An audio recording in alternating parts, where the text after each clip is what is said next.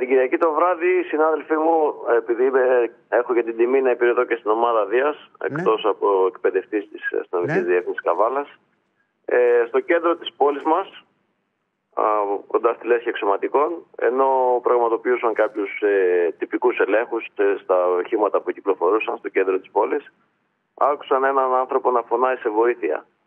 Α, ναι. Ε, σε λίγα μέτρα, λίγα μέτρα πιο κάτω έγινε ένα περιστατικό στο οποίο ένας ε, άντρας ημεδαπός ε, ρο- καταγωγής Ρωμά μαχαίρωσε έναν ε, ομόφυλό του στην, ε, στην Κοιλιά, στην Κιλιακή χώρα που λέμε.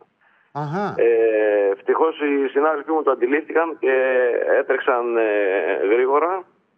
Ε, κατάφεραν να κινητοποίησαν τον δράστη, α, ο οποίος ε, το έβαλε στα πόδια, προσπάθησε να διαφύγει και έτσι όπως έτρεχε, πέταξε και το μαχαίρι που κρατούσε Ναι. και κατάφερε πλήγμα στη, στην κοιλιά. Το πέταξε σε έναν κάδο απορριμμάτων. Μέσα στη νύχτα, βέβαια, δεν ήταν και πολύ δύσκολο, δεν ήταν και πολύ εύκολο να το εντοπίσουν οι συνάδελφοι, αλλά Ευτυχώς η παρατηρητικότητα και η ετοιμότητά τους ε, απέδωσε καρπούς. Λάβανε το δράστη, συνέλεξαν και το πιστήριο του εγκλήματος και έδωσαν πρώτες βοήθειες στο, στο θύμα. Και ευτυχώς ήρθε και πολύ γρήγορα το στον φόρο από ό,τι μου είπαν τα, τα παιδιά. Σε πέντε λεπτά ήταν εκεί. Και ο, το θύμα μεταφέρθηκε κατευθείαν στην χειρουργική κλινική όπου έγινε επέμβαση για να αποκατασταθεί το τραύμα που είχε. Για άλλη μια φορά θέλουμε να δώσουμε συγχαρητήρια στους συναδέλφους οι οποίοι έστω και με αυτές τις συνθήκες που έχετε και εσείς περιγράψει α, προσπαθούν να δώσουν τον καλύτερο τους σε αυτό για να υπάρχει ένα αίσθημα ασφάλειας ε, στην πόλη και στους συμπολίτες μας.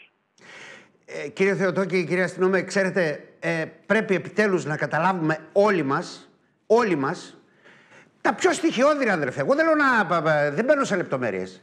Τι, ο Θεοτόκης και ο κάθε Θεοτόκης που φοράει τη στολή του αστυνομικού δεν κάνει τίποτε άλλο από το να προστατεύει από τα κακώς κείμενα και όποια θέματα παρουσιαστούν όπως αυτό που μας περιγράφετε την, ε, τη δική μας ασφάλεια. Πρέπει επιτέλους να αλλάξει αυτό που υπάρχει ο, ο αστυνομικός, ο μπάτσος, ο δεν ξέρω τι. Πρέπει να αλλάξει έστω και τώρα. Αν θέλουμε να αισθανόμαστε ασφάλεια και κυρίως τις μεταμεσονύχτιες ώρες οι οποίες ε, ε, έχουν το προνόμιο να καλύπτουν ξέρω εγώ, όλα, αυτή, όλα αυτά τα, τα άτομα, τα μυστήρια ε, που κυκλοφορούν στους δρόμους. Πρέπει να αλλάξει εδώ και τώρα. Η πολιτεία πρέπει να το δει αλλιώς. Πρέπει επιτέλους να καταλάβουμε τι είναι ο αστυνομικός για τον πολίτη. Έτσι ακριβώς όπως τα λέτε και εμείς ως ε, σω- Σωματείο Εργαζομένων Αστυνομικών Υπαλλήλων του νομού Καβάλας αναδεικνύουμε και ένα άλλο γεγονός που το, το έχετε αντιληφθεί φαντάζομαι είναι τα χρήματα που ξοδεύονται από το Υπουργείο μας, από το Ταμείο για τις μετακινήσεις των αστυνομικών Ναι. α, από την περιφέρεια στη, στα μεγάλα αστικά κέντρα.